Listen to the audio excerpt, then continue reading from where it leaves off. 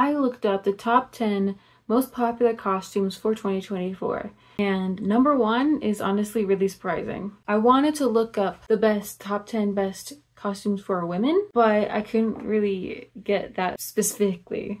I could get both genders. So that's what list we're gonna do. Also, if I have the costume, I'm gonna put it on and show you. We're gonna start with number 10. And honestly, this one is also very surprising. So number 10 is Hermione from Harry Potter. Harry Potter is literally like my favorite movie, so I get it, but I don't know why it's so popular in the world. And also, I don't have specifically a Hermione costume, as a kid, I did once dress up as her, and everyone thought I was Harry Potter because I wore glasses. I can't help that. I'm sorry. At number nine is Harry Potter. And I am so happy that both of these have made the list. Again, Harry Potter's my favorite. I can't believe that it's on the top 10 for this year, even though it came, it the last movie was like, I don't know how many years ago. It was a long while ago. And again, I don't specifically have a Harry Potter costume, but being a huge fan that I am, I do have Harry Potter universe costumes. I am a Hufflepuff. That's my house. I do have a Hufflepuff costume and I will do that in honor of Harry Potter. I wanted to show you. I have, I got this it's got my initials on it. It came with a bunch of stuff in it. So I'm definitely prepared for Hufflepuff. Okay, this is my Hufflepuff outfit. The yellows don't match. I have expressed this many, many, many, many times before. I hate that all of the colors for the houses don't match each other. Like they don't have the same blue, they don't have the same red, they're not the same yellow. But this is probably the most generic Hufflepuff look that I have. I have a bunch of different Hufflepuff looks. I have a Hufflepuff sweater and Hufflepuff um, joggers. Also, I wanted to add this one in. I have another wand that is more specific to Hufflepuff. But this is Harry Potter's wand, and I wanted to add that into this one because this one is for Harry Potter, so his wand. Yes, I have scarf, tie, pin, hat, and skirt and a top. They're not like from the Harry Potter world, but they work, you know? They work. I also have this Fantastic Beasts and Where to Find Them book, property of Harry Potter, and it's got like his notes in it that he would have put in there. So that's also something else of Harry that I have. I paid like $200 for this thing and it's so cheaply made. Number eight is Alien. And I'm guessing this is not just a regular green alien. I'm guessing this is based off of Alien Romulus. I think that's a new movie coming out, which is basically the Alien franchise and the new movie that's coming out this year. Number seven is Pokemon. I do not have any Pokemon costumes. No, I don't. I have a lot of onesies and I'm like wondering if I have anything Pokemon. I do like Pokemon. I just don't have anything of it. I'm not like a huge fan. I just, I had Pokemon Go for a while. I watched the original show. Squirtle is my favorite Pokemon. And I used to have a Squirtle shirt, but it was just, it was a weird shirt. It was a crop top, but that it had like ties at the end and like I would just like have to tie them around. I don't know. I didn't really like the look of it, so I got rid of it. Number six is Mario and Luigi. This one I'm also surprised about because like I don't know why that would be so popular this year. This is one of the costumes that I've always wanted to do with Shae, just do like a female Mario and Luigi costumes together. Her and I need to do that. Number five is Wolverine. I honestly wish I had a female Wolverine costume. But I know this one is popular because the Deadpool and Wolverine movie just recently came out. I haven't seen it. I don't really like Deadpool. I really don't like Deadpool.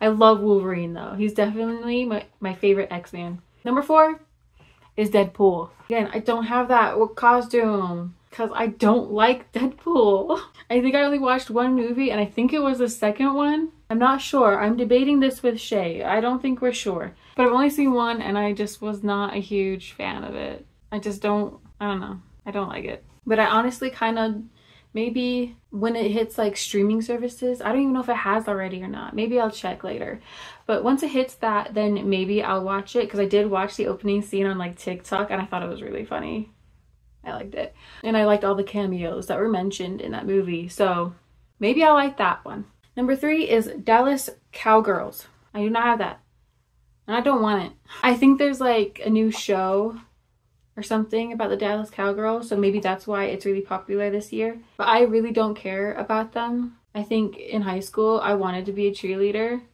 but not bad enough to actually do it. I did theater instead, so yeah. Number two is Wizard of Oz. I'm guessing they're talking about anything, any costume from Wizard of Oz, especially since Wicked is coming out this year, and oh my goodness, you guys. I cannot express how excited I am for Wicked. I'm honestly so happy that Ariana Grande got Glinda. So happy about that. It's but like I'm so happy about it because I know that she is a huge fan of Wicked too. She's always loved it and the music and you know what? So have I. And I think she'll be a perfect Glinda. Anyways, I did recently get a Dorothy costume for this year's 31 Days of Halloween costumes. I will put it on. Don't worry, I will put it on. But I won't be doing all my hair and makeup that way. I will be doing that for the 31 Days of Halloween costumes. Let's put it on. Okay, so this is the main dress. It does come with two bows for like the hair. They put it into braids, which I don't... Does Dorothy have braids in the movie? Maybe she does. I don't know. But I mean, this costume is obviously not accurate to the movie. It's just kind of a cute version. The bows definitely match the bows on here. I wish, oh my goodness, I was at Spirit today. I should have gotten like, there was like a little basket and I should have gotten that. And then like a little stuffed dog for Toto. Oh my goodness. That would have been so cute. Anyways, I do hope that like they do get good costumes for Elphaba and Glinda. That'd be cool. But for now, we got Dorothy. And it's really cute. Now we're down to number one. Number one is a couple's costume.